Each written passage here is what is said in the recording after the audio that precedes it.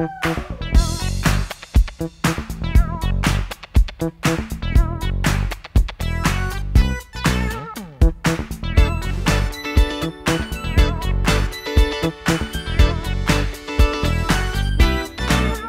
got to be a dancer, a dancer.